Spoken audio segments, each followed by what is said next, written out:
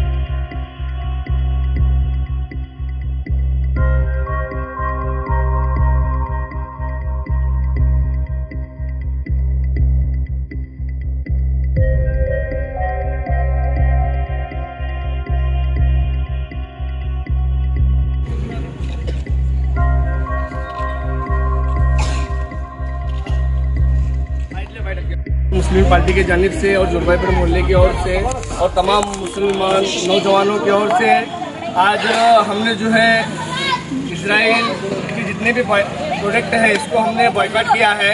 और मैं सोलापुर शहर के सभी लोगों से यही कहना चाहता हूँ कि इसराइल के जितने भी प्रोडक्ट हैं, इन्हें बॉयकॉट कीजिए। क्योंकि ये जो प्रोडक्ट है, हम लोग जो खरीदते हैं छोटे छोटे लेकर ये प्रोडक्ट से इन लोगों के पास जो है उत्पन्न का ज़रिया होता है। इस उत्पन्न के ज़रिए ये लोग जो है हमारे फलस्तीनी भाइयों के ऊपर जुल्म जाती कर रहे हैं और हम एक प्रोडक्ट खरीदते हैं तो इनको एक गोली एक गोली के तरीके के हिसाब से इनको पैसा मिलता है और ये गोली जो है हमारे ही सीने पे मारने का काम ये लोग कर रहे हैं। तो वहाँ पर जो फलस्तीन पर जुल्म हो रहा है, मैं हमारे हिंदुस्तान के प्राइम मिनिस्टर नरेंद्र मोदी साहब से भी ये रिक्वेस्ट करता हूँ कि इंसानियत के नाते जो है वहाँ पर जो अटैक हो रहा है गाजा में, ये अटैक उन्हें रुकाने की आप हुकूमत की तरफ़ से एक आदेश दीजिए और हम जो है इसराइल का बहुत पूरे सोलापुर शहर और पूरे हिंदुस्तान की तरफ़ से जो है ज़ाहिर निश्चित करते हैं और हम हमेशा फलस्तीन के साथ थे, है और आगे भी इंशाल्लाह हम रहेंगे और हमारे जितने भी प्राइम मिनिस्टर जितने भी थे सब फलस्तीन के साथ थे और हम हमारे कौम की ओर से हम भी फलस्तीन के साथ जो है खड़े हैं तो हम पूरे हिंदुस्तान के अवाम से, हिंदू, मुस्लिम, सिख, ईसाई, सभी धर्म के लोगों से यही कहना चाहते हैं कि फलस्तीन पर जुल्म हो रहा है, इन लोगों के साथ खड़े रहिए और इनको ताकत देने का काम कीजिए।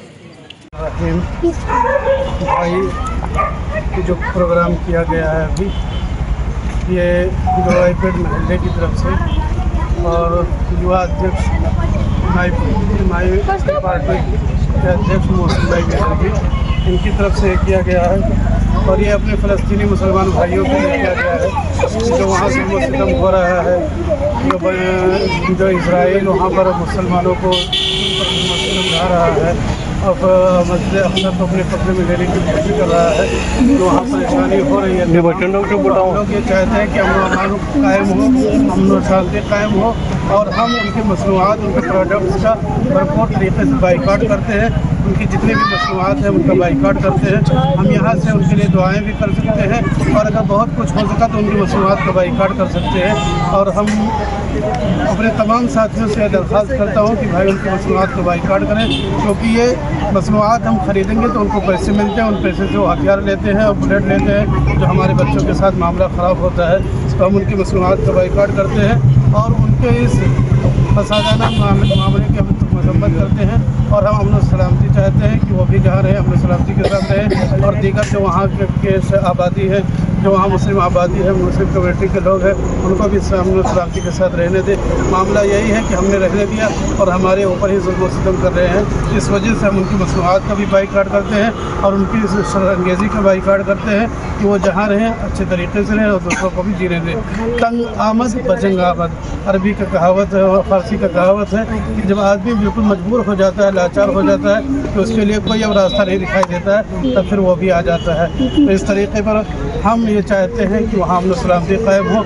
जो दूसरे का नाहक जो जुल्म सितम किया जा रहा है, दूसरों का खून बहाया जा रहा है, उसको रोका जाए और वो जहाँ है अपनी जगह पर कायम दायम रहे और दूसरे लोगों को भी कायम दायम रहने दें, जो इबादत कर रहे हैं, जो मामला कर रहे हैं, उनको अपनी इबादत करने दें मस्जिद अफसा में हम यही दरख्वास्त करते हैं। असल वरहमल